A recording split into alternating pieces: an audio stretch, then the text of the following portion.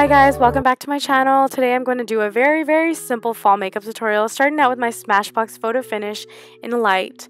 I am just, I applied this on my face already, and the CoverGirl 3-in-1 foundation. I already applied my simple face makeup just to get started with this look, and I'm just showing you. I blended it out with a Real Techniques buffing brush. Now to get started with the eye look, I am taking my Naked 3 palette and I am going in with the shade Nooner. I wanted to go for a purpley, more mauve look. So I'm blending that into my crease. It is important because that is a transition shade. So I'm still blending that out. And then I'm taking the color Trick just to use as my all over the shade, all over the lid shade. So I'm putting that all over my lid and for some weird reason it was not coming out as pigmented on camera, which I absolutely hated, but it's fine. So going in with my Morphe Brushes palette, the Jaclyn Hill one, I'm taking these two purpley shades and I want to blend those out into my crease just to give it a more defined look. I'm I'm first taking it a Why gotta be red? I also want to blend that out and then put it into my outer V just to define the look a little bit more. So as you can see, it's coming along a little more mauve So now I want to get a little more precise and I'm going in in the outer V just to define that area. It's very simple, don't worry. It's just a lot of blending. I apologize for my voice, you guys. I am sick. Yes, for Thanksgiving, I'm sick. So I'm sorry. Now I'm going in my Wet n Wild's color icon and I'm using that as a highlight just to highlight my brow bone a bit. I just wanted to define that a little bit more just to, you know, bring out those brows. So next I'm going in with eyeliner and I'm using the Kat Von D Tattoo Liner in Trooper. I'm like really bad at recording eyeliner. I'm sorry. I apologize. I'm no way. I am in no way an expert at doing eyeliner. It's like one of the hardest things for me to do. Try to get that line right. So there you go. And I just wanted to fix all that up a little bit with some concealer. So I use the Maybelline Master Conceal in the shade Light.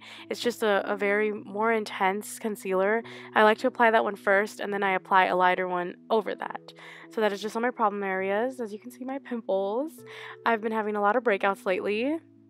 So I'm going to blend that all out with a Morphe brush. This is just a buffing concealer brush.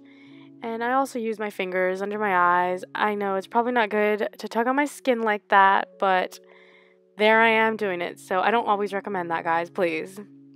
Now going in with the Maybelline Fit Me Concealer, I am just going to highlight the rest of my face. And I like this technique because I feel like it really highlights the face. It kind of brings it out more.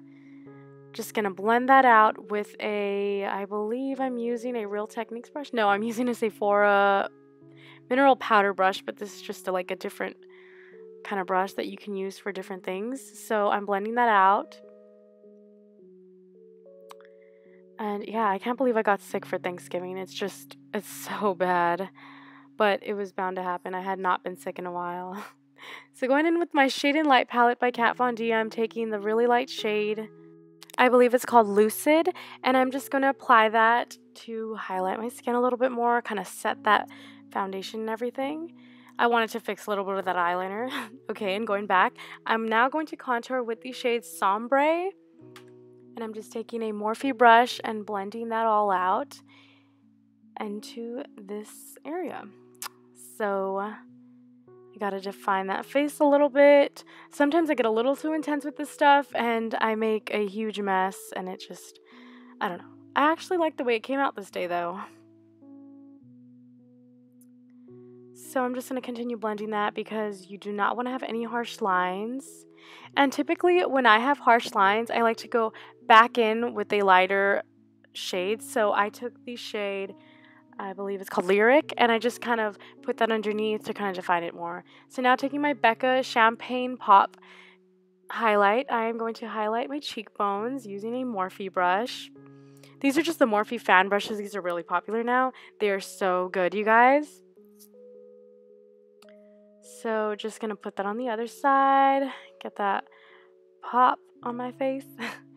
and now I'm going to curl my eyelashes that are almost non-existent. And then on days that I don't use false lashes, I use three different mascaras just to get the right length and volume that I need because since I have such short eyelashes, so I'm going to go ahead and apply all three of those. As you can see, I got interrupted. and so just continuing that. Next, I'm going in with the blush Baby Doll by Essence. I believe it's called Baby Doll. And I'm just going to apply that on my cheeks to give just a more pinky shade. I really like this blush and it's so affordable, you guys. So I wanted to add a little more shadow underneath my eyes. So I'm going back in with those two purpley shades that I used earlier and just going to apply that underneath my eyes near my waterline, not directly on my waterline though. I just wanted more of a pop of color, just more of that purpley shade. I really liked it. So blending that all out, all together, I have this mauve look, and I actually really, really love the way it came out. So going in with the NYX Natural Lip Liner, I'm going to line my lips just so I can add some lipstick. This is just a natural, everyday process. Then going in with the shade Velvet Teddy by MAC, I'm just going to finish off this simple look. That concludes this video. Thank you guys so much for watching. I hope to see you guys next time. Let me know what you think in the comments, and I'll see you guys really soon. Take care. Bye.